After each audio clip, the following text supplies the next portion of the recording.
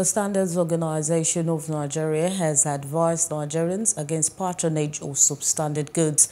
The Director General of SON, Farouk Salim, gave the advice at a one-day sensitization program on activities and mandates of the organization held in Port Harcourt, the River State capital. The Standards Organization of Nigeria, SON, believes in sensitization and capacity building programs for its workforce for maximum productivity. One of such is this one-day workshop with focus on fighting against the circulation of substandard products. What the cheap products are doing, cheap substandard products are doing, is destroying our industrial base. So we, we, we are here to make sure that what people do in this country is done efficiently, fairly, and competitively.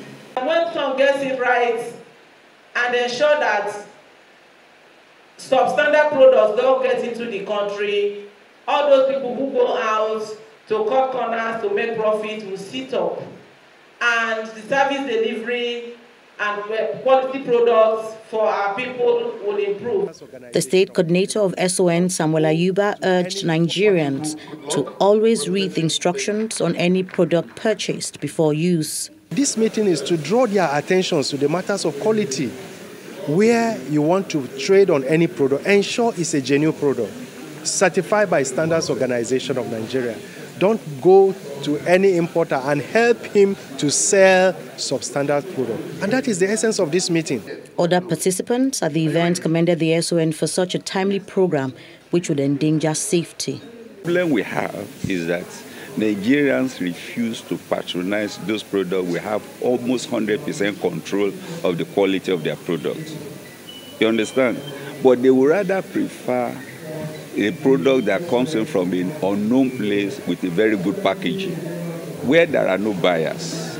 Those people bringing it in would desist.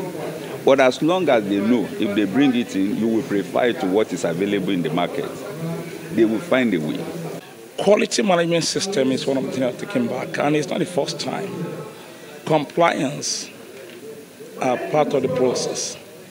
Now, the, the, the, challenges we have in our industry for now is about substandard products.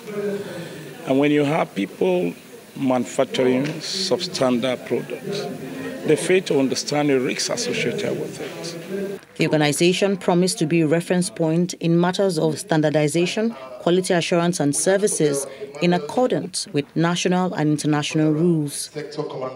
Hello. Hope you enjoyed the news. Please do subscribe to our YouTube channel and don't forget to hit the notification button so you get notified about fresh news updates.